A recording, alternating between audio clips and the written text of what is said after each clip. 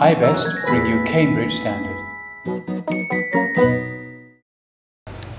Uh, xin chào tất cả mọi người, mình là Đặng Quốc Phúc. Năm nay mình 18 tuổi và đang là sinh viên tại trường đại học Thủy lợi Và đợt vừa rồi thì mình đã học được một khóa của trung tâm iBest uh, ờ, cùng lớp với ờ, học được học lớp thầy Tony và đã đạt được kết quả từ 5.5 lên 7.0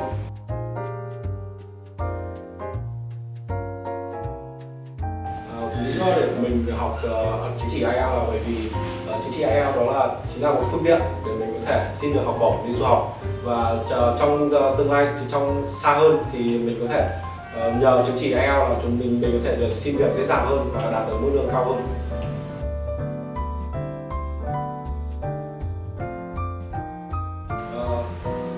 Chúng ta biết là practice make perfect so uh, vì vậy là uh, mọi người cần phải luyện tập thật nhiều đối với hai kỹ năng như là speaking và writing thì speaking thì bạn phải luyện tập với bạn bè và thầy cô để có thể tăng phản xạ. Còn writing thì bạn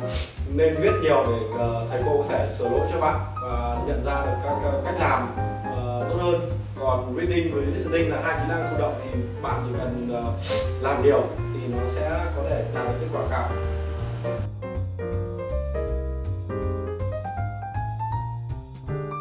Khi học tại IPS thì đầu tiên là khi ờ, mình vào lớp thì ờ, thầy cô ờ, rất là vui tính và không không quá cứng nhắc trong giờ học. Vì vậy là có thể thỉnh thoảng thầy cô còn trêu đùa thì nên là tạo hứng thú trong việc học tập hơn. Và còn các anh chị nhân viên thì cũng nhiệt tình cung cấp đầy đủ thông tin cho học viên. À, như là học ở IPS cũng là một trải nghiệm khá tuyệt vời với mình. À, mình rất vui vì đã được chia sẻ kinh nghiệm của mình khi học tại IPS và cuối cùng thì xin uh, chúc mừng Giáng sinh Merry Christmas and Happy New Year everybody.